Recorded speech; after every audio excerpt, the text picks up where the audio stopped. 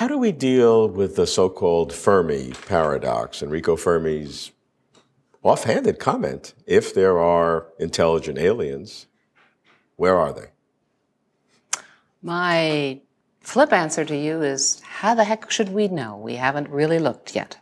And that isn't such a flip answer. I really do take that seriously. The Fermi paradox has a robust structure of a paradox only if you can say they aren't here. And then you can conclude that there cannot have been any technological civilizations at any other time in any other place. We're the first. But can we say they're not here? Well, I don't think they're abducting Aunt Alice off the streets for salacious medical examinations, and and I don't think that they've come uh, hundreds of or thousands of light years to crash in the last mile uh, in the deserts of New Mexico.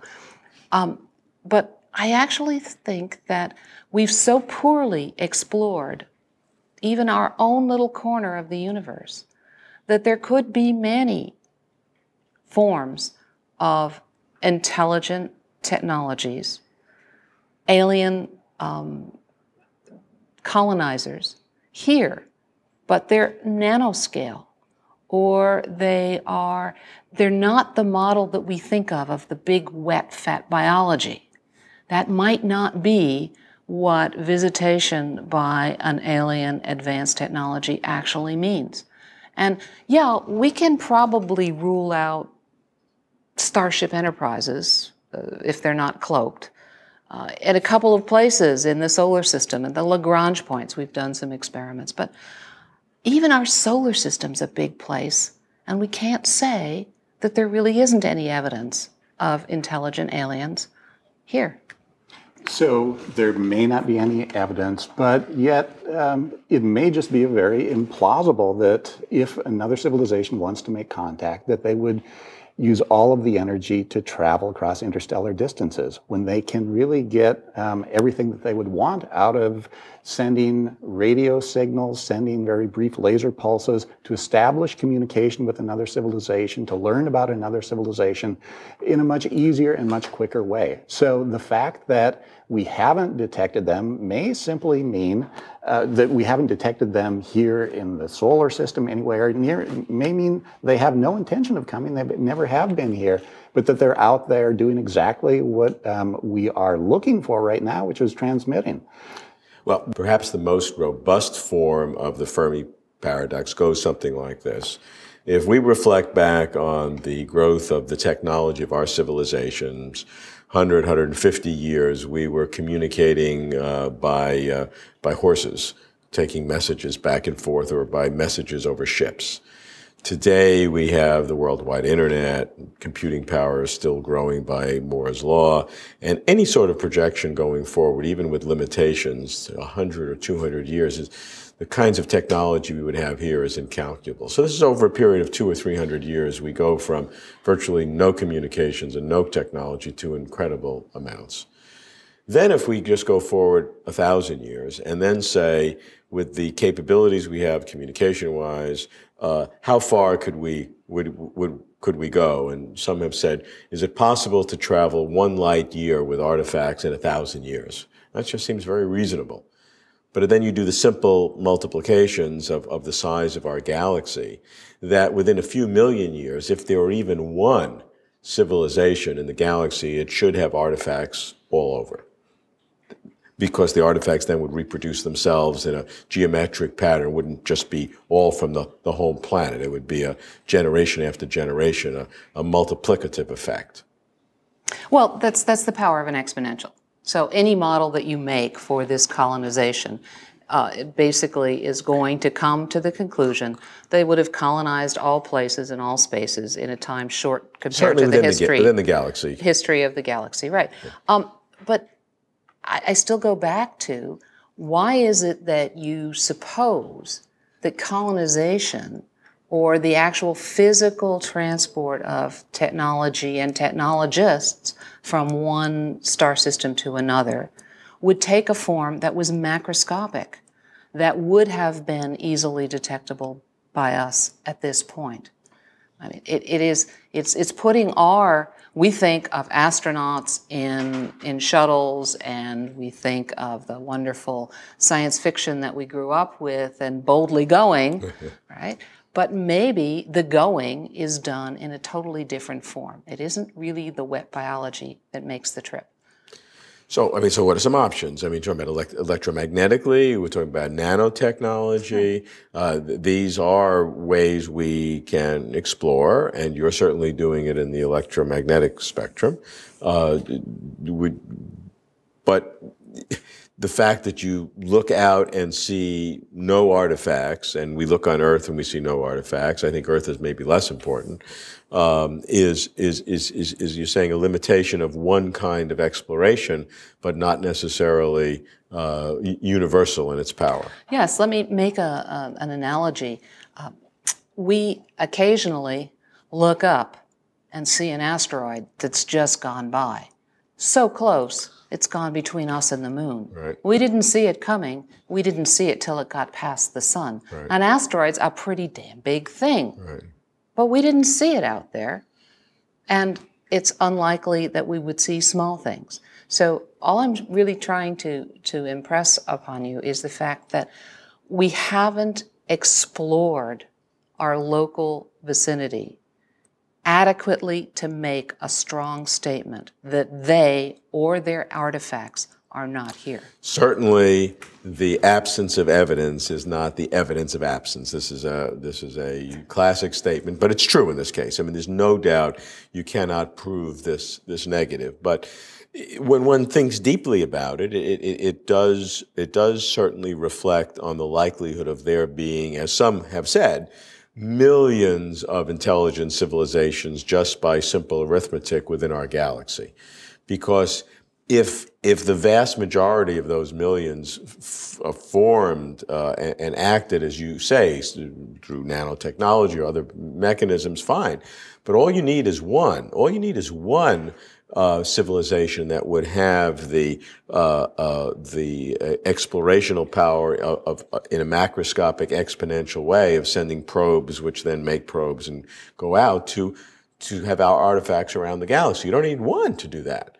So if there are other civilizations that have the intelligence, th- th- there's seems very unlikely that there's there's even one that has that has done it in a macroscopic way.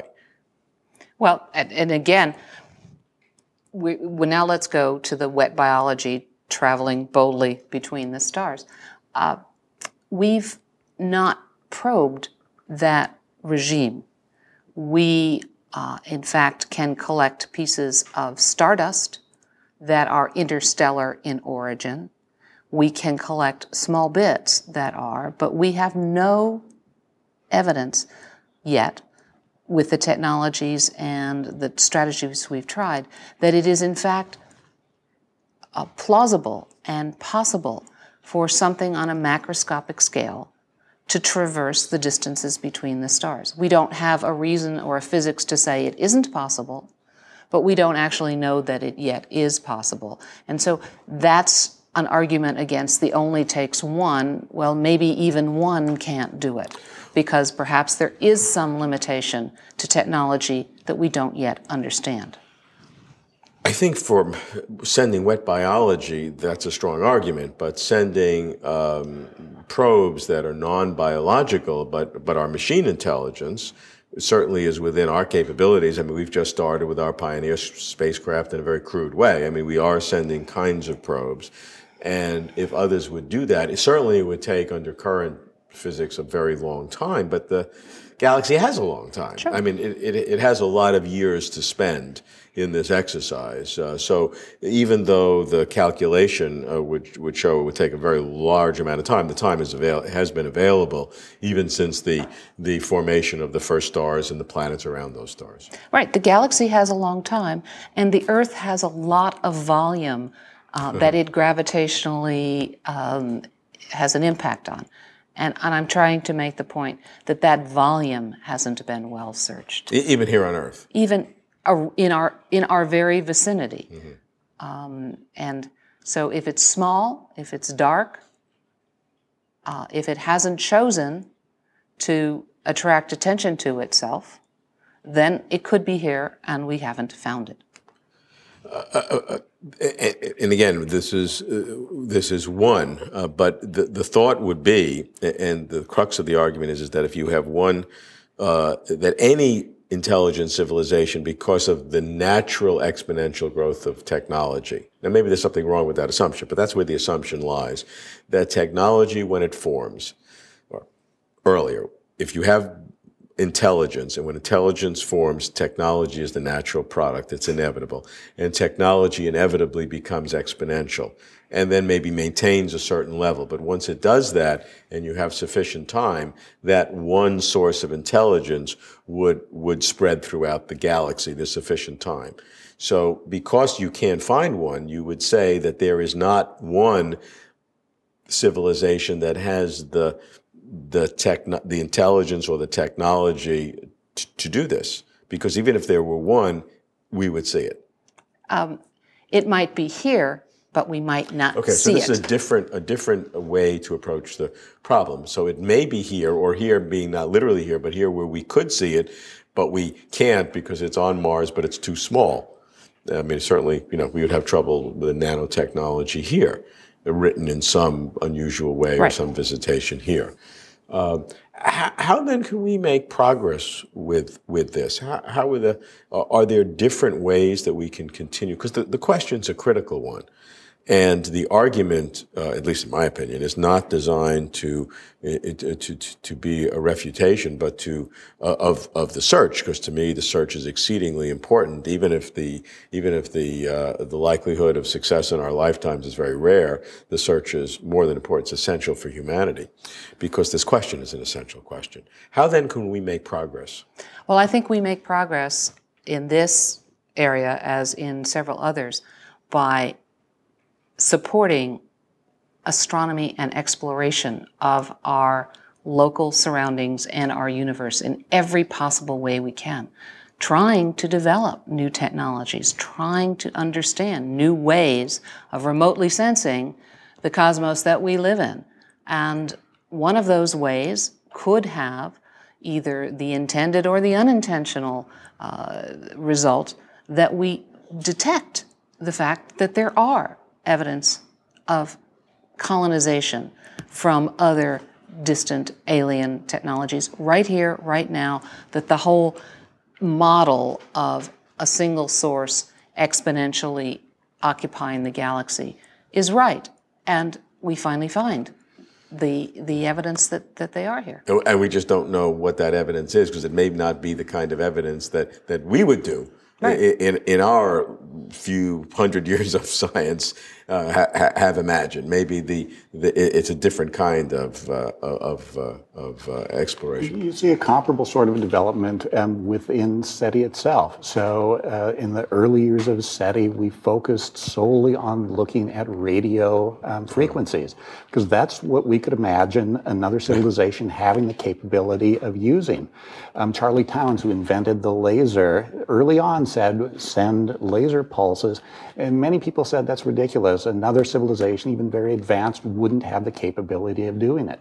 now that we have the capacity ourselves, it's very imaginable that another civilization could do it as well. So now the search for extraterrestrials using electromagnetic radiation uses both radio signals and also looks for brief laser pulses.